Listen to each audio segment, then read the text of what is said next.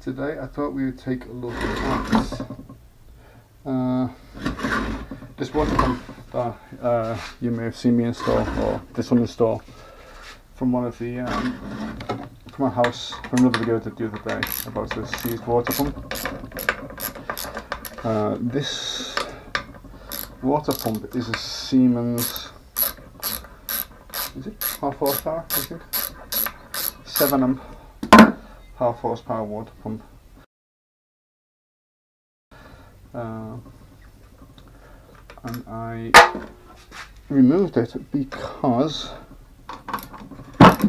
it is, well, it's not quite seized, but it's certainly on the way to being seized. The impeller won't spin at all. Well, it will spin, but very, very slowly. Uh, and it's drawing like, oh, what's it like something stupid like 30 amps or something when it's trying to turn. Uh, have a look. This Mexico has very hard water. this is the impeller or the impulsor or whatever you want to call it, and it's really kind of stiff, and it does actually spin better in one way, in one direction as opposed to the other. Uh, and it spins that way according to me in this impeller. Um, anyway, the point of this video is I thought we'd break it down um, and see if we can find out what the actual problem is and hopefully rebuild it. I did take a course on uh, rebuilding water pumps and they're kind of easy. It's ridiculously uh, less complicated than I thought they would be. This motor is an induction motor uh, which is pretty much it's brushless, completely brushless. It's only got one moving part. Um, has two field windings, uh, despite the fact it's got this coming in. Actually, has two field windings. Has a start winding and a continuous run winding. Uh, uh, for that to happen, for the, uh, I'll, I'll, I'll make a little drawing and I'll put it in the video. The for the start winding uh, and the uh, the run winding to run uh, out of phase, uh, which is what they need to do to actually for the initial to start the motor. What they need to do is because the electricity goes to both windings. Normally, under circumstances, the electricity would go to the, to the live of both windings at the same time. Um, we need the uh, run winding or is it the start winding? I can't remember. We need them out of phase by 90 degrees, an angle of 90 degrees. And to um, to achieve that, one of the the uh, start winding goes through, what is it, the run winding? I can't really remember. One of them goes through uh, this capacitor, and what this capacitor basically does is it momentarily absorbs uh, the input to one of the fields, uh, to one of the windings, and that's also, it's like having a two hose pipes um, powering a water wheel um, but you want one of them to have a slight delay uh, in powering the water wheel. Imagine this is a water wheel, you have two pipes raining water onto the water wheel, better like this, two inlets, but you want one of them to start slightly later than the other even though you open the tap to both of them at the same time. So how do you do it?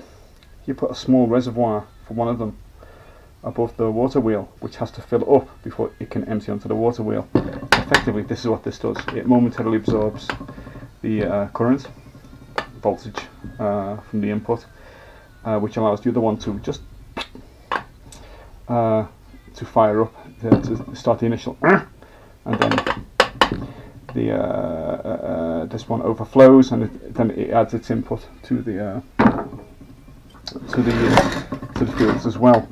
Um, but since you can't have both of them run at the same time, I will try and make a little demonstration of this. You can't have both of them running continuously. Inside here, there's a centrifugal switch that when the motor gets up to speed or to a certain speed, it breaks the contact to the to the start winding, so only the run winding uh, uh, runs continuously. So I'll have a better look at that when I take the cap off it. Uh, first thing I need to do is uh, take this impeller off. Now this impeller is only screwed on and it does, yeah, it's, it's only held on with a thread, no nut or anything, it's just screwed on and the actual counter rotation of the motor keeps it held in place, keeps it locked in place. Now of course if I just try and undo this, the motor's going to turn. The motor's going to turn. So in order to stop this spinning we need to somehow jam the shaft uh, that the impeller sits on. And how that's done is you can actually get a special tool, hexagon tool, like a big socket uh, that fits over here. And if you can see in there, there's like a, a screwdriver slot in there. Uh, but I don't have a socket this big. Um, so what I'm going to do is I made this little uh, piece of bent metal, a tool, which fits in the slot. In the slot. Nice and tight because we don't want it to jump out. And this, as you can see, turns with the turns with the impeller. So what we need to do is we need to be able to turn this impeller this way. Need to block this this way. And how I'm going to do that is uh, okay, the impeller is finally loose. This was a lot tighter uh, than I actually thought. Um, but how I actually got it loose was by um, heating it up with a torch, with a blow lamp. heating it up nice and hot. As soon as it got smoky hot, a big blasted WD-40 to contract it down. And uh, after that was done, I put this old blunt axe inside the slot and just a couple of whack, whack, whack, and so much internal friction as well as mass inside the um, inside the pump. But this bad boy just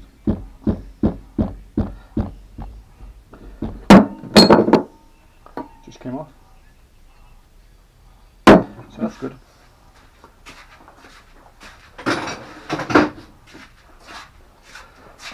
Right. So this is the impeller. It's brass, you can see, but it's uh, been marred with the axe, but that's okay. That'll tidy up nicely. Now, as for the pump itself, this is the seal. It's an active rotating seal. Um, it has a spring inside. Try and see here. Oops, you see this? The son of a bitch in its position. There's a spring inside here. And what happens is the spring, the uh, the seal is a ceramic rubber seal, uh, and it is uh, it wears as the pump operates under normal usage. It wears so yay thick when you buy one new.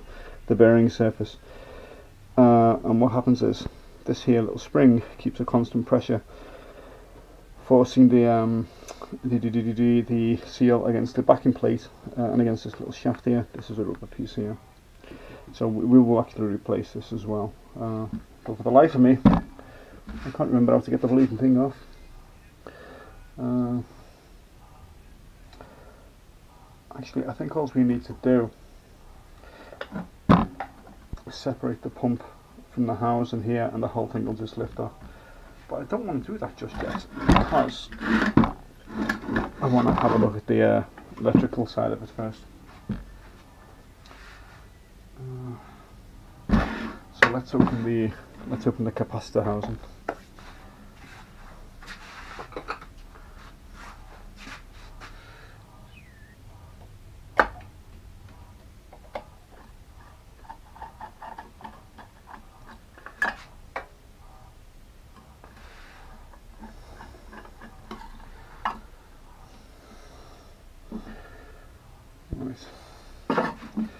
One capacitor. Uh, before we go any further with this capacitor, um, just for information, before you ever start pissing about with them, always make sure it's discharged. And how do you discharge a capacitor? Just by touching the two with any metal object, best insulated, just to make sure it is discharged, which this one is. Now, uh, when I first started fiddling with these things, I was never sure which way to connect these spade connectors on the capacitor. And it makes no difference. You can connect it however you want. If you get the clips mixed up and you put them on the wrong way around it, it makes no difference to the operation of the machine all thanks to alternating current. Right this is the capacitor. Uh, you see that. It is a it is a Abram Electro Electrolitico 168 193 it is an Abrams capacitor Electrolitico 168 193 MFD 110 volts uh, CA 50 to 60 hertz hecho en Mexico Croner de Mexico Numero uno. I guess that means numero uno. Who knows? Right, so I'll replace that anyway. Um, okay, so what we'll do now is we'll take the end cap off the pump. Oh, first of all, do I need to take this off? Can I undo this? No. The big problem with this is, is that many of the screws are just chewed up either from age or just shitty quality. But it's a Siemens pump, so it should be okay. Can I?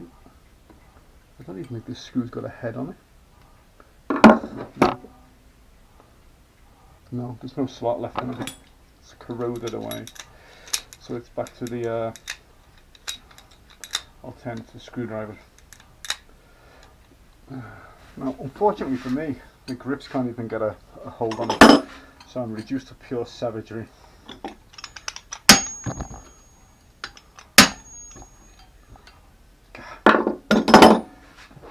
Here's my new Home Depot chisels.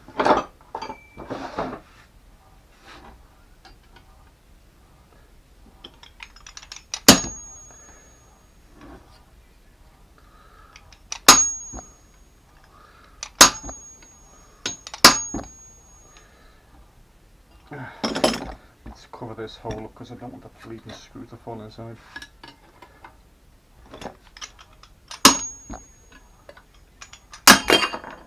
Yeah, it's off. Ah, doesn't matter, I can drill and tap that later. Let me see. In cover place. Yeah, no cover left it on, but I don't like doing that. Went out the way.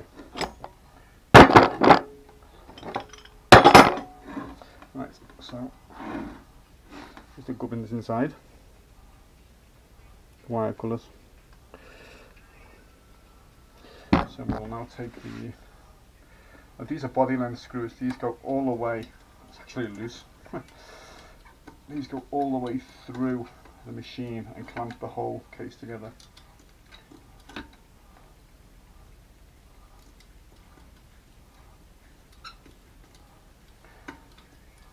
Ah, one thing I forgot to do. Before you ever split one of these cases open, always mark it so you can line it up yeah. And what we'll do is we'll compound that with a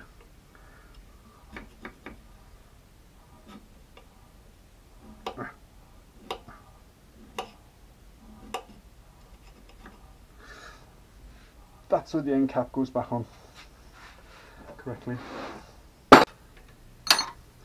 Right, that's the cap undone. Trying to use this little boy off.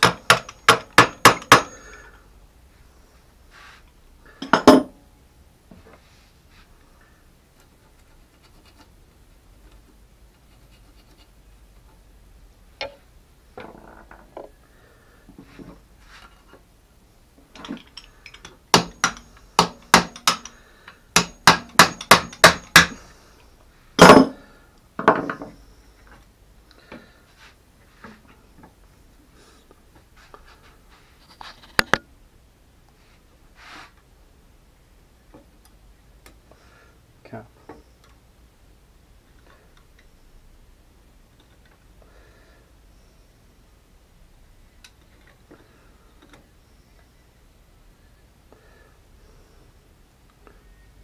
Bearing, nice and chunky.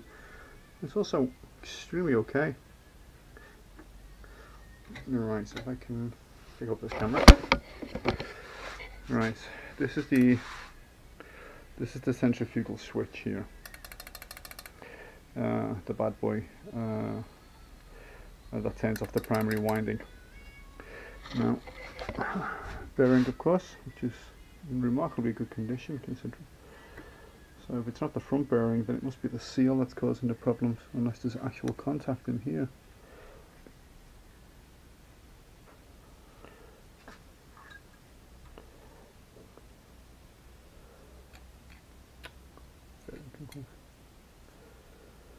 bearing retainer.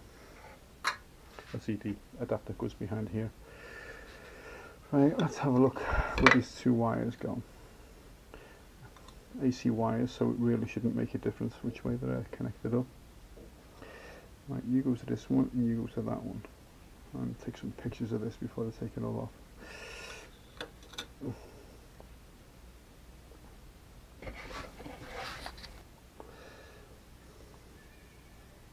Now I've taken pictures of all of these connections so they should be good.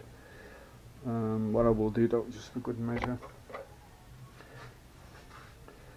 the pencil's got no tip. Mm.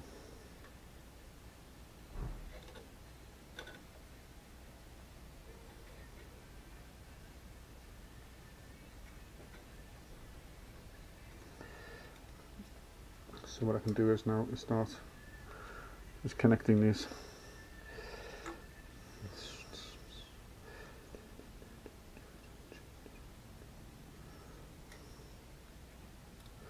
Some of these wires are pretty chowdery. God, I hope these bleeding. I hope these windings are all okay because I'll check them with a multimeter in a minute. I hope they're okay because I really don't want to have to rewind this motor. It should be okay because even when it wasn't 10, whenever you connected it back up it was still like it was trying to do something. So what we'll do is, let me just disconnect this.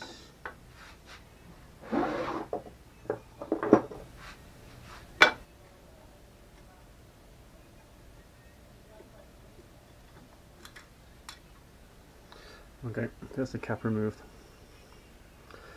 Uh, this is the centrifugal switch. Which is pushed up and down here on and off and that's activated by this.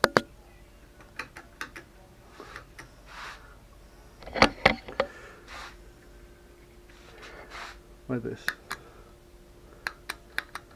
This comes up and as it spins out, these weights, ah, I can't see them, there's some weights, where are they?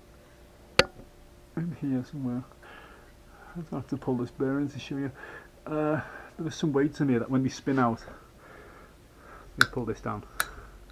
It's like an old fashioned steam engine and that turns off the, uh, the start coil like that. I'll check the switch out. Bearing really is okay. Damn. And the springs and the switch is good and tight. That's okay.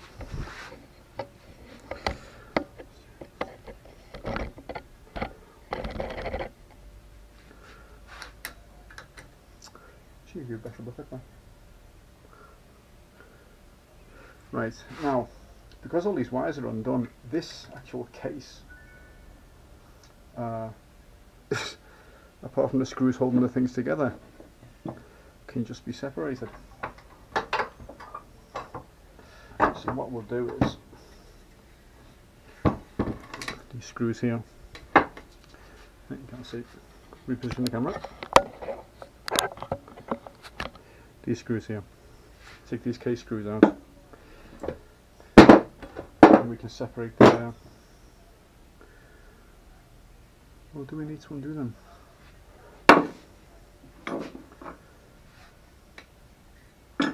Let's see.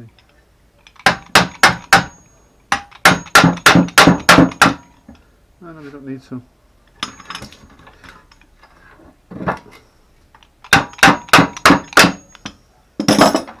Go, separated.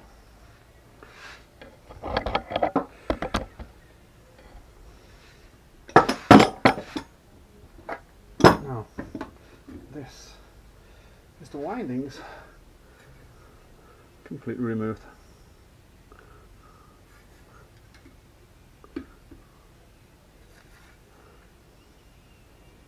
We'll take a better look at them later.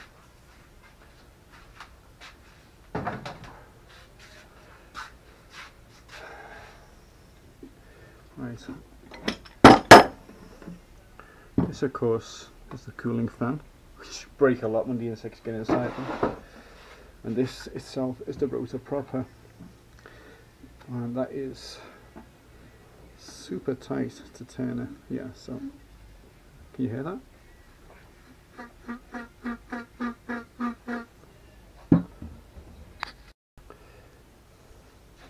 Right, with the case out the way, we can see a better look at the uh, centrifugal switch. See? When it spins, spins, spins, they fly out. Pretty powerful though, I don't remember seeing that one that powerful. Okay, and where was I? Yeah, can you hear this? Yeah, so it's either the seal or it's the bearing. So what I'm going to do is I'm going to separate these two pieces of case here.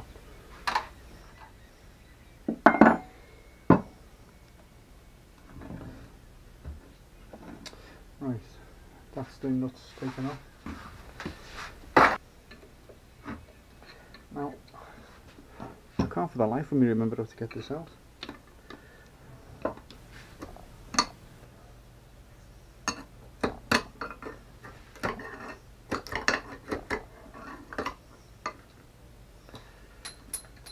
What the hell was that?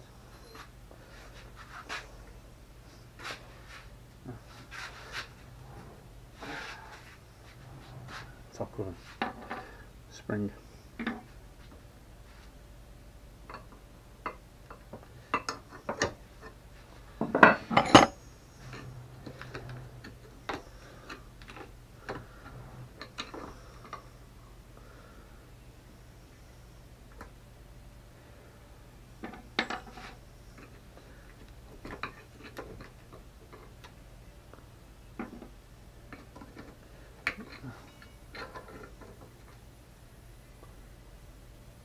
This is the ceramic part I mentioned before.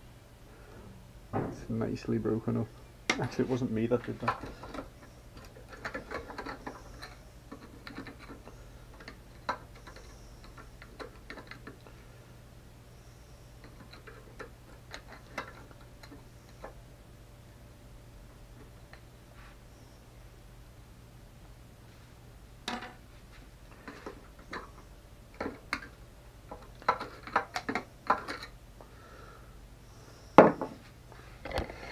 Can see, it's pretty, it's pretty manky in there. Well, maybe that's the ceramics part there.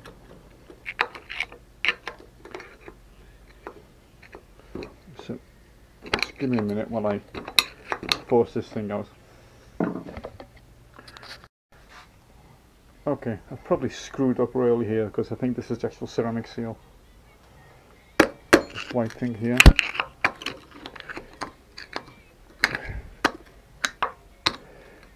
Oh, God, I've already smashed it and cracked it, so I might as well just continue until it's out.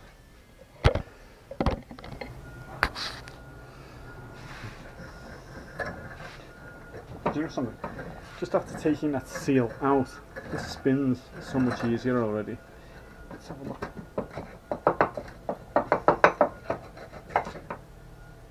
we go. Ah, yeah. This is the ceramic seal.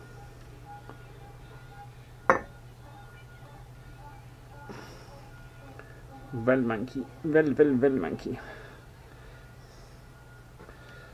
So I need to.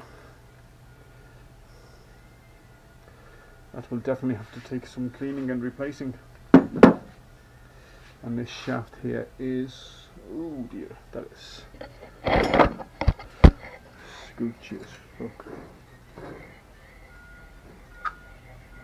However, there's no play in the bearing, and the bearing is replaced by removing these two screws, removing this plate, uh, and then this plate, of course, just lifts off and the bearing is inside.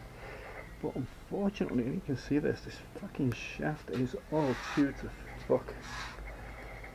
Uh, now, I'm not sure where the bearing surface is for the seal. I'm not sure whether the seal sits here or down here. If it sits down here, it was screwed. We need a whole new armature, as well get a new pump. This shaft can't be replaced separately. Fuck.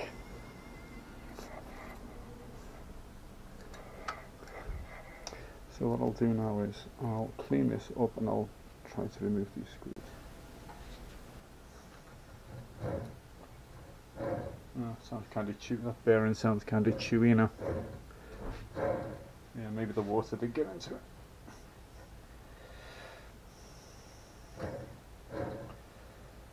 Hmm, Okay. Alright, what I'm going to do is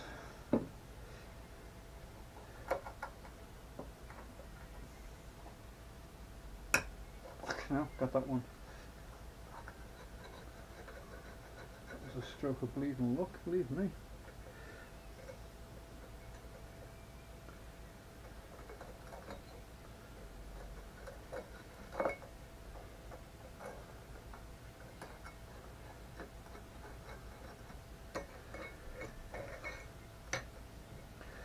Can we get your friend? Uh, your friend's got no, so friendly. I found a quick way for releasing these seized screws is to put a screwdriver in the slot and then just let off. Wrap with a hammer. Not only does that help clear the head, it breaks the corrosion on the thread, and then uh, we got it. Now there should be a plate here.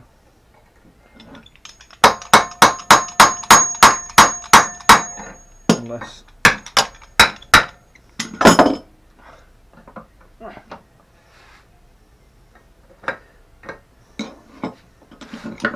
I might have to use a puller on this. Oh.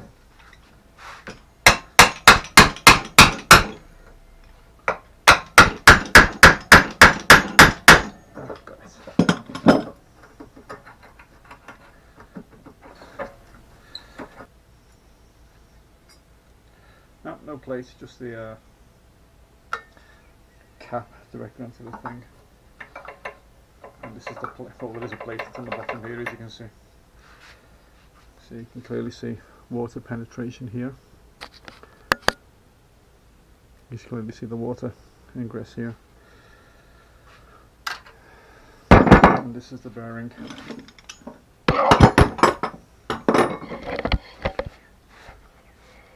And she is as fucked as fuck can be. Ah, bollocks.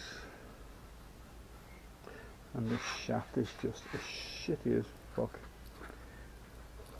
Why does it have to be the front bearing? Can I even get a puller in there? I don't know. What I'm going to do is I'll clean this up. God, that's pissed me off no end. And this shaft has got me concerned. It really is chewed. Uh, I'll clean it all up as best I can. And I'll leave some penetrating on this bearing, on this bearing shaft overnight. But it's that corroded, I can't even tell if it's got a sealing clip.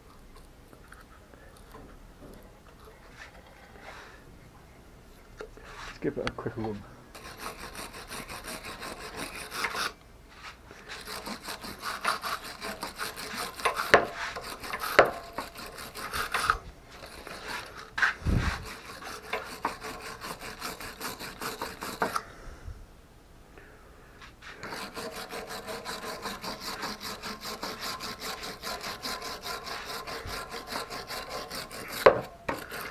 my best home despot wire brush. I'll get at this with a machine later to give it a better finish, a better try, but let's see.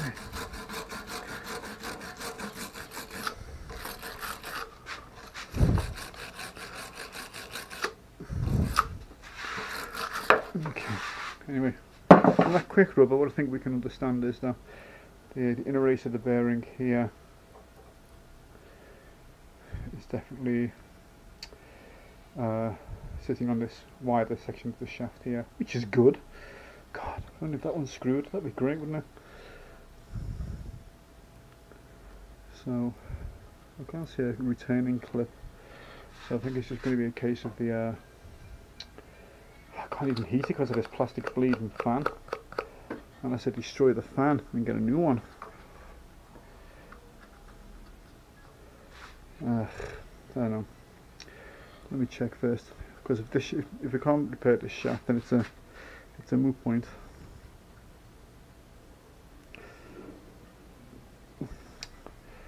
Let me clean her up some more and we'll get back to it.